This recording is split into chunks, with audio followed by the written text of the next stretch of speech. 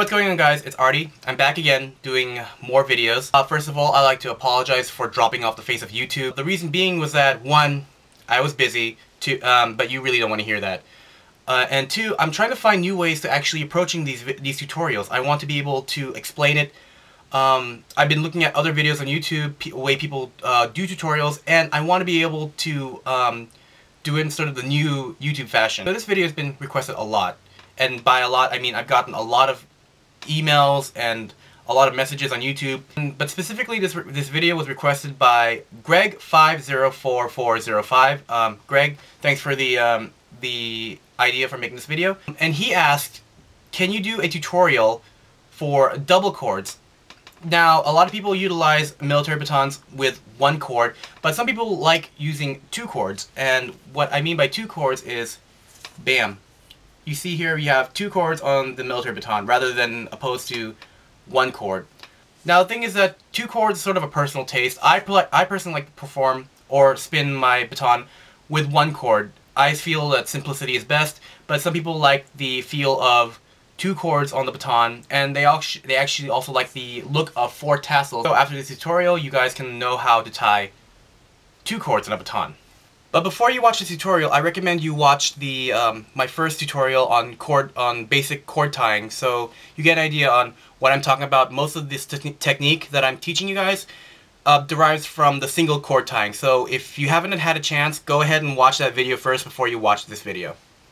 Okay, so I got my baton, I got my yellow cords, and I've got my green cords. Now a little thing I want to mention about cords is that usually if you're going to get two cords in your baton, if you order your baton with two cords on them, they will always be the same length. Now, if you have a set of, if you ordered a baton, if you have a baton with cords in it, and you order a set of cords um, later on, chances are if you've been tying and untying your cords, um, you're, you've actually stretched out the cords that you're on your that are on your baton, and they will end up longer than the new cords you just ordered. So, um, you'll notice that um, my green cords are actually longer than my yellow cords, and um, I'll show you how to get around that. Okay, like in the last video, you want to make sure you go down the cords and make sure that there are no tangles or any um, significant bunches or knots in the cords. So what I like to do with double cords, I'm going to start off with holding two tassels in one hand. I'm just going to go straight down straight down the cords just to make sure that my tass my cords are not tangled. And you can see here, there's a tangle. Get that done.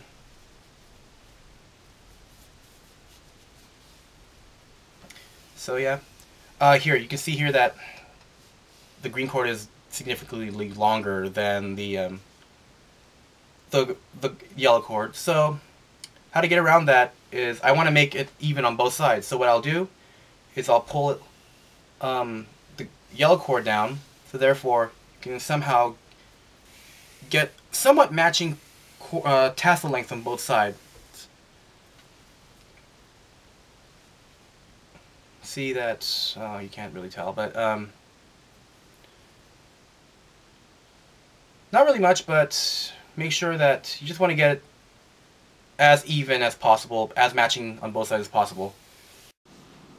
Okay, now that you have your cords evened out, you probably want to decide which cord goes on top. I like to do the school's primary color on top and the secondary color on bottom. Seeing how my college's um, color, main color was green and the secondary was gold, I'm going to put green on top, gold on bottom. The last video, you want to make sure that one of the end of the cords is longer than the other, other end of the cords. Now you're going to take, now this is the absolute middle of the cord. I'm going to pull it maybe about a foot. Yeah, maybe about a foot. Foot would be good. About maybe 12 inches. And then like last time, one is going to be the, um, the end I just pulled will be known as the long end, and the other end will be known as the short end. Taking the baton, I'm going to take both cords, keeping the green on top, I'm going to take the long end and go around. Pull it tight. Again, I'm going to go all the way around and pull tight, keeping the green on top of the yellow.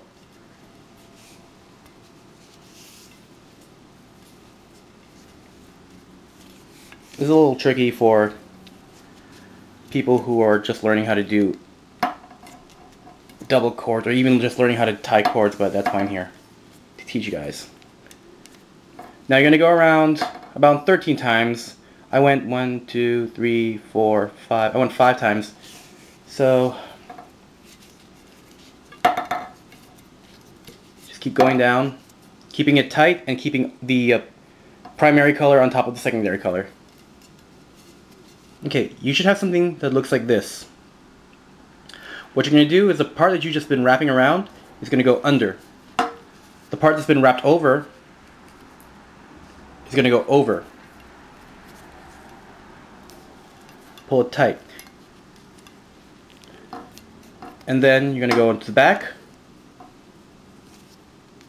and crisscross the back. You're going to do the opposite. You're going to go over, under. So one side is going to go over, un, um, under, over, and the back is going to go um, over, under. So it's going to reverse, it's going to switch on the back. Now you're going to keep continuing going all the way down the baton, keeping the keeping the colors the same. So like on here, I have the green on top and the gold on bottom. I want to make sure that the uh, gold always stays on the bottom and the green always stays on top.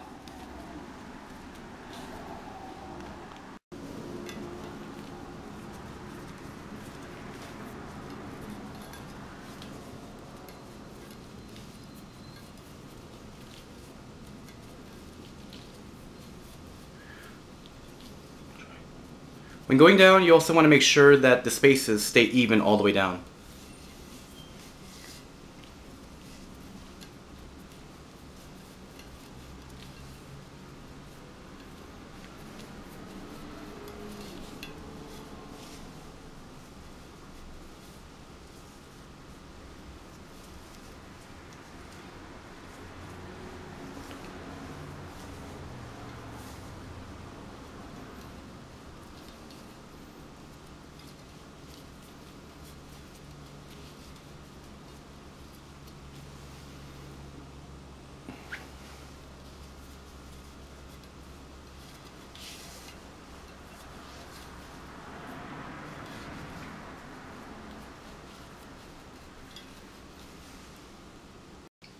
Okay, if nothing went wrong, you should have something that looks somewhat like this.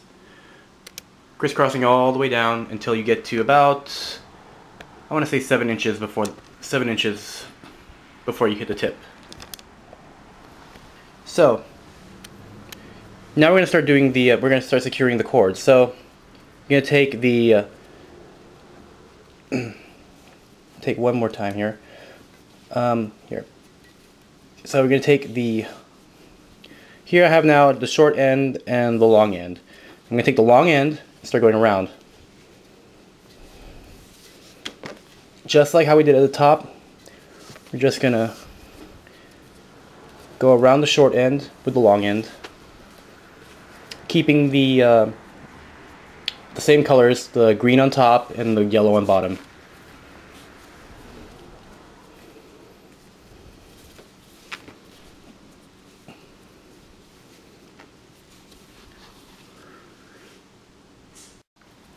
Okay, so now we've tied them until the uh, their the tassels are about of even length. So now you want to secure them with a uh, square knot or a double knot. So we're gonna do we're gonna give one good double knot.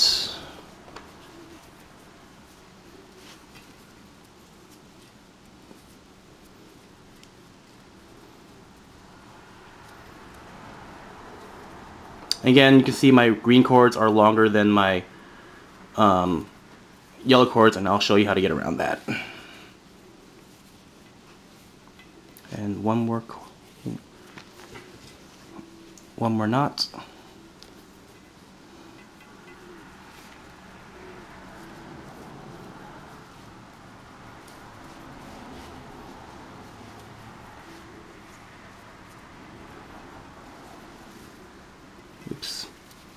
Let's try that again.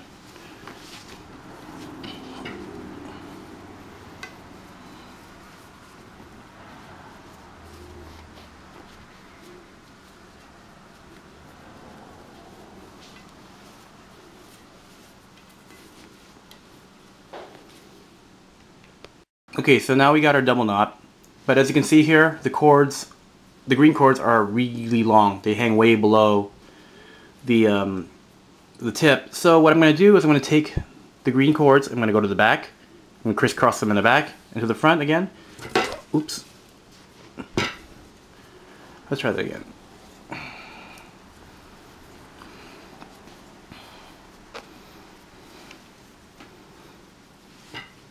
So I'm going to take the the green cords, crisscross them in the back, the front, try and come above the tip, I mean above the knot. Gonna tie it again. I'm gonna tie it again. It's not gonna look pretty, but it'll keep the um, the uh, tassel from hanging below the tip. So it's still long. So try you can go for another Actually, we can go to the back. Let me tie it again. The back.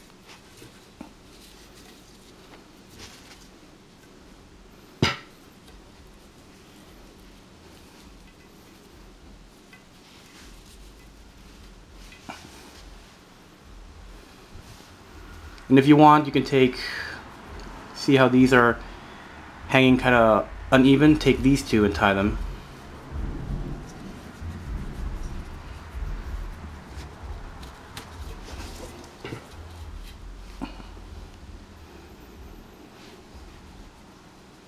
I know I'm doing a lot of knots, but it's just a way to help secure it and make it look even all the way around.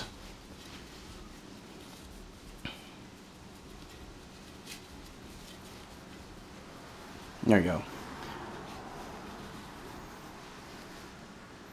Doesn't look pretty, but I mean that's how to get around um, having one cord that is longer than the other cord.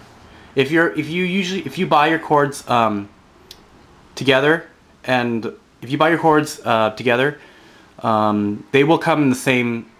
They will come in the uh, the same length, so you won't have to worry about this um, this little dilemma here.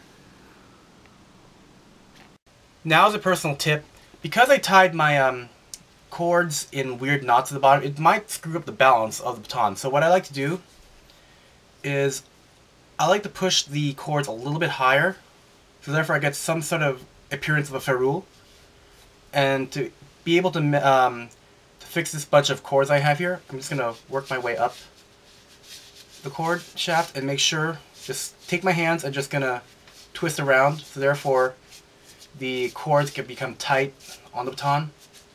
Just just work just work the cords into um, just work the cords and so therefore you don't have like a whole bunch of cords on one end.